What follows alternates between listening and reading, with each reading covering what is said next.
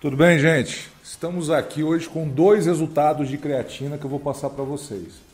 Como vocês são espertinhos e gostam só de vídeos curtos, né? Então eu vou tentar fazer o vídeo mais curto possível para que vocês possam divulgar esses resultados, deixar o seu like e curtir o nosso canal.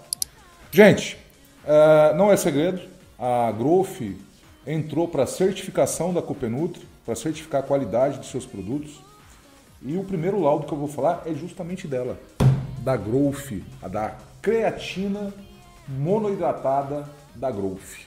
Vamos diretos aos laudos. O produto informa que tem 3 mil miligramas na dose de 3 gramas. Ou seja, o resultado laboratorial indicou 2.990 miligramas. Ou seja, apresentou uma variação de apenas minimamente 33%. Um resultado excelente para a Growth. Parabéns para a Growth Suplementos.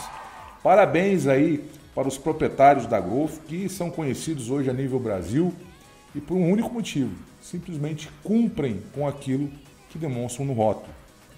Está aqui o resultado feito no laboratório, certo?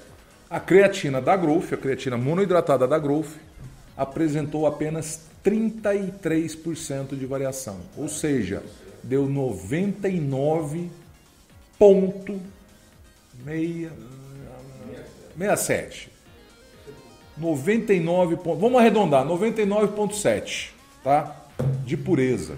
Vai receber o selo da Copenutri de certificação de um produto de qualidade.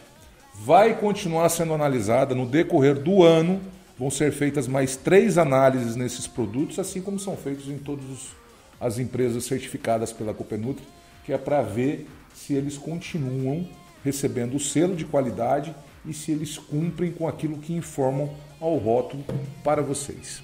A outra marca que foi analisada, além da Growth, foi a da Zuppler. A creatina da Zuppler também entrou para a certificação da Copenutri. E o resultado da Upper nós vamos falar aqui agora. O produto informa que tem 3 gramas de creatina na dose de 3, ou seja, 3 mil miligramas. E o resultado da Upper foi que o produto bateu 2,984. Olha isso aqui, deu praticamente 99,9% de pureza. Parabéns para a Zuppler, marca que cumpre com o que informa, a creatina deles está certificada pela Copenutri. Lembrando que nós adotamos os mesmos critérios, os mesmos protocolos que são adotados na Abenutri na questão de prova, contraprova, laudos, metodologia. Nós também adotamos aqui, até porque aqui eu atuo como consultor da Copenutri e na Abenutri eu atuo como coordenador. Parabéns aí para a Zupper, um ótimo resultado. E semana que vem, semana que vem não, talvez ainda essa semana a gente volte com mais resultados para vocês. Beleza? Um abraço. Por favor, divulguem, compartilhem e deixem seu like.